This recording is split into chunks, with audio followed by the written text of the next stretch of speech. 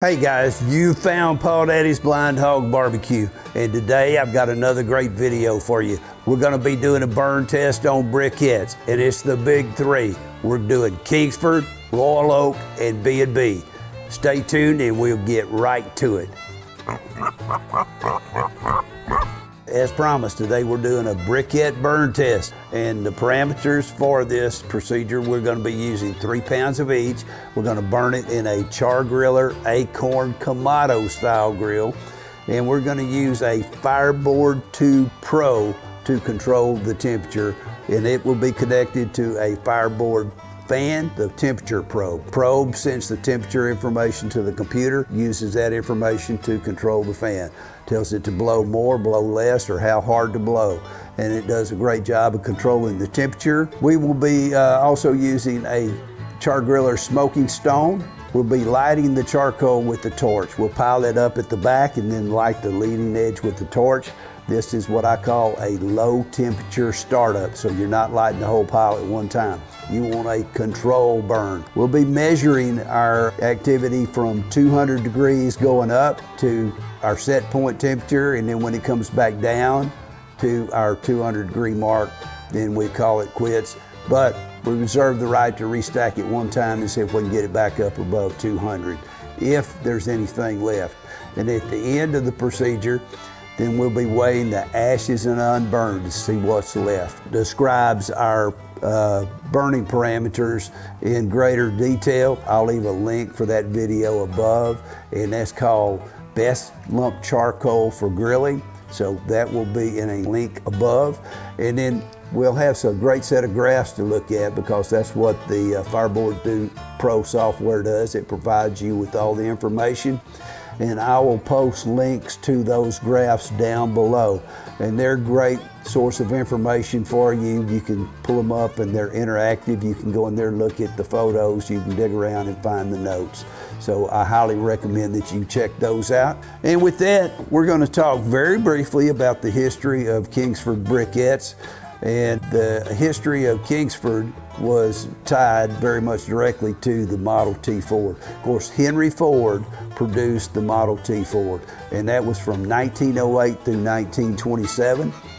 And each Model T used over 100 board foot of lumber in each one, and a board foot is one inch thick, 12 inches wide by 12 inches long and they produced 15 million Model Ts. So it required vast acreages of timber. Henry Ford uh, cut out the middleman and he liked to source his own timber. At the time, he had a first cousin who was married to a man named Edward G. Kingsford. And Mr. Kingsford was an entrepreneur, a real estate man, and also what's known as a timber cruiser.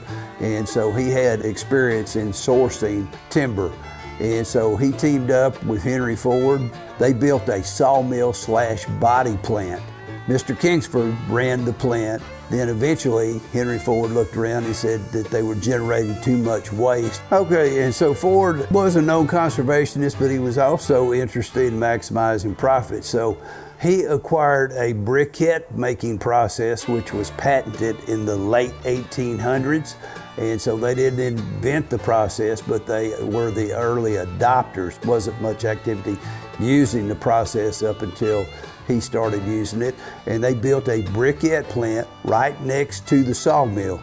And Edward Kingsford was instrumental in helping design and get this plant going and running the plant. They primarily made, at the time, industrial fuel. That was their primary market, seven inch pieces, or they could custom make whatever size that was needed, but primary size at that time was seven inch. Then they became interested in trying to develop a market for home use. So the Ford dealership started selling portable grills exclusively at Ford dealerships. So you could buy your briquettes and grills at the Ford dealer. And then somewhere along the line, of course, they stopped using quite as much wood making of the automobile. So a group of investors bought the briquette plant and then they renamed it Kingsford in honor of Edward G. Kingsford. So Kingsford never actually owned it, but he did help design it and operate it and was very instrumental in the process. Kingsford Charcoal today has a 80% market share, which is incredible when you think about all the different kinds of charcoal. If you look around in the grocery store or wherever you buy your charcoal, and then think that eight out of every 10 bags sold is a Kingsford product. And then today, the Kingsford is under Clorox Corporation. So they are owned by a giant corporation. A spokesperson for Kingsford, in an article that I read, it claims that their product is made from charred wood, coal, limestone, sodium nitrate, and starch. And when asked about borax or petroleum, they emphatically say no. Now, they do put some kind of accelerant on their uh, a lot of their products, and to me, it does smell like petroleum products. But I'm not either claiming it is or it isn't. I'm just telling you what the article that I found stated. Okay, so now let's get down to the part that you really came here for, and that's to look at the actual burn test results. And we're going to start with Kingsford because we've already talked so much about Kingsford. Here we have the Kingsford and from 200 to 200 time came in at 4 hours and 50 minutes and it the ashes and unburned was 0.8. 0.8, that's almost eight, well, it's eight tenths of a pound. Okay, and then let's compare that to the Royal Oak. And the Royal Oak came in at five hours and 44 minutes from the time it hit 200 to the time it came back down to 200. Now, it did have a nicer chart. It stayed here longer at our set point. I think the uh, Royal Oak outdid the Kingsford.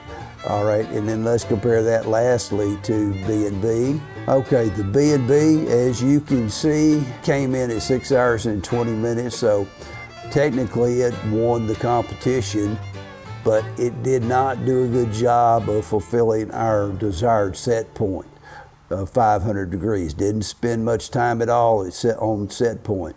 The uh, B&B had ashes and unburned of four tenths of a pound. That's our information. That uh, read it and weep. That's exactly as it happened. Okay, does this little experiment prove one's better than another? No, not at all, but it does show you what's going on. Kingsford, throughout the barbecue world, has a reputation of producing a lot of ash. Do they produce a lot of ash? Well, they certainly produced the most in this experiment, and they had the shortest burn time but Kingsford is readily available everywhere. It's just another point of information for you to use. And I hope that you found something that you liked in this video. And if you do, hit the like button. I need some likes and I need more subscribers. I appreciate you watching. Hope to see you next time at Paw Daddy's BlindHawg Barbecue.